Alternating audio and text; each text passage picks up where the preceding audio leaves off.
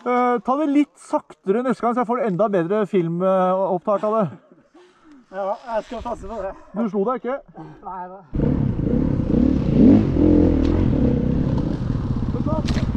Yes!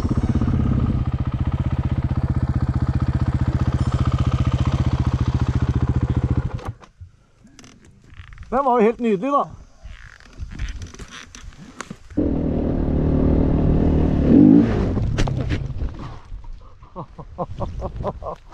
Fy faen.